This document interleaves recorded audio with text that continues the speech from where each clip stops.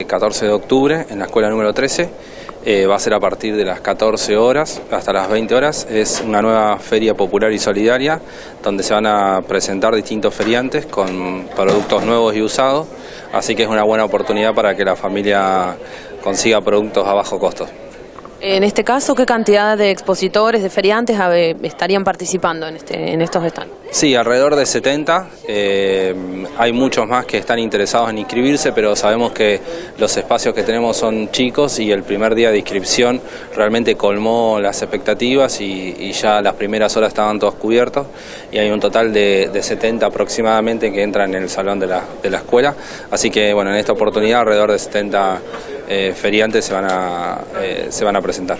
¿Tienen previsto la participación de la Secretaría de Cultura o algún otro organismo que quizás complemente las actividades que se van a llevar ahí en la escuela?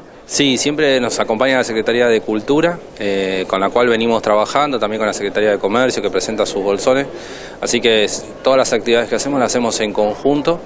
El fin de semana pasado hicimos una que estuvo muy buena en el Colegio Sobral, que fue gran cantidad de gente.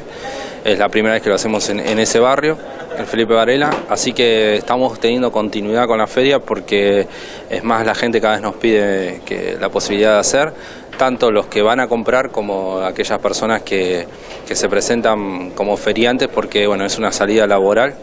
Y bueno, también vemos interesante que cada vez hay más personas que tienen tarjeta, tarjeta de débito, tarjeta de crédito, eh, con lo cual es una ayuda para la familia en estos momentos tan difíciles.